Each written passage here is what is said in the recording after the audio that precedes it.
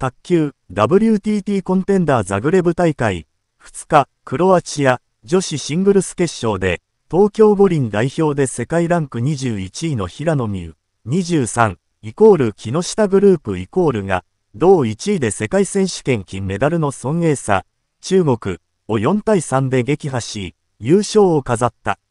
日本協会が設定するパリ五輪代表選考の対象外の大会ではあるものの、中国の世界ランク上位3位から勝利を挙げたボーナスポイント15点、7ゲーム制、岡さん。1位の早田ひな、日本生命を追走した。フルゲームの激闘で同い年の世界女王から金星を挙げた。平野は2-3で迎えた第6ゲーム、10、11とマッチポイントを握られたが、懸命に粘って14の12。最終ゲームは優位にポイントを重ね、11の6で振り切った。孫エイサが日本選手に敗れるのは2019年スウェーデンオープンの伊藤美誠戦以来、4年ぶり。今大会も準決勝で早田が0対3で敗れていた。平野自身もこれが孫エイサから挙げた初勝利。さらに、今大会は中国選手を3人撃破する快進撃となり、パリ五輪での打倒中国に向けて大きな足がかりを作った。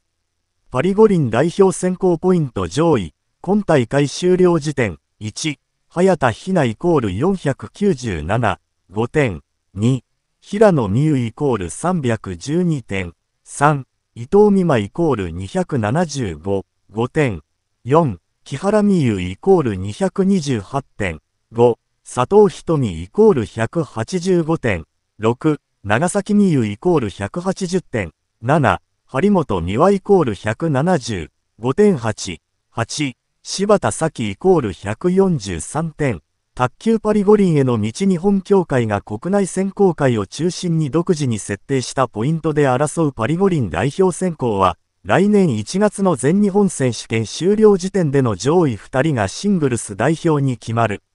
今後の対象大会としては、第5回選考会、7月22から23日、東京都北区、アジア選手権、9月、ピョンチャン、広州アジア大会、9月、中国、第6回選考会、11月、大阪、などが予定されている。